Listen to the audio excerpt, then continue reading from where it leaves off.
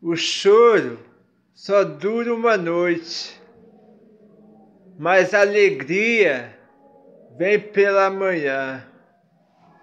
Digo em todo tempo que o herdeiro é menino e nada difere de um servo, ainda que seja seu de tudo mas está debaixo de tutores, curadores, até o tempo determinado pelo Pai. E seja vós, que não haja trabalho vão para convosco.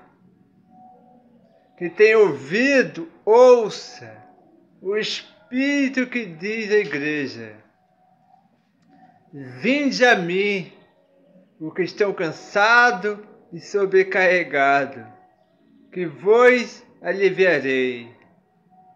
O Senhor é meu pastor, e nada lhe farei falta. Sai de tua terra, da tua parentela, da casa de teu pai, para a terra que te mostrarei. Muito estão tornando périto da pregação da boa graça de Deus. Epístola de Paulo ao Romano continua a transformar a vida da pessoa. Nunca foi tão necessário entendermos biblicamente um assunto debutado e mal interpretada.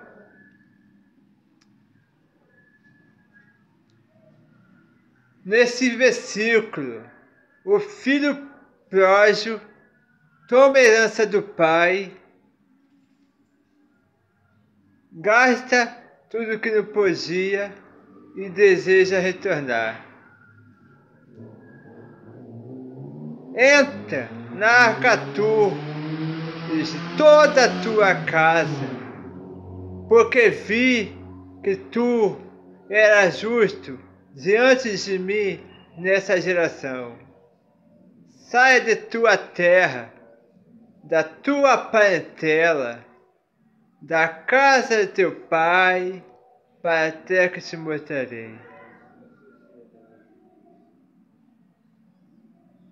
Apesar dos privilégio com o judeu. Foram agraciados, colocando na dianteira da revelação. A palavra mostra que somos farinha do mesmo saco. Logo, que precisamos entender, por qualquer razão cultural, é uma besteira.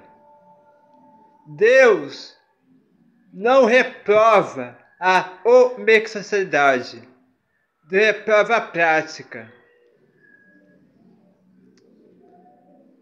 Jesus respondeu e disse: Eu sou a videira verdadeira e meu pai lavrador.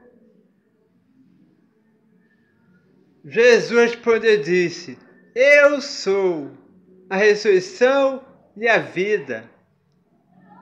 Aquele que crê em mim, ainda que morra, viverá.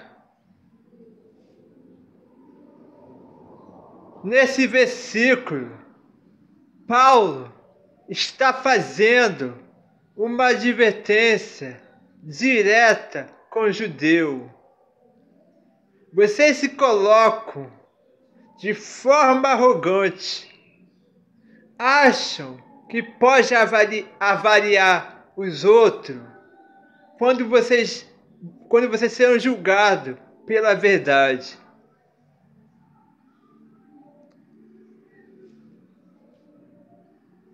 Vocês acham que pode avaliar os outros quando vocês serão julgados pela verdade. Isso mesmo.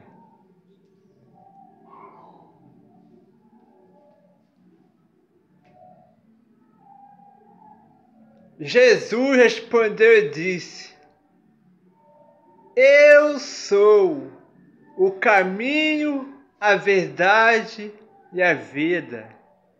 Se ninguém vem ao Pai, se não for por meio dele. Papai do céu te proteja, te ilumina sempre.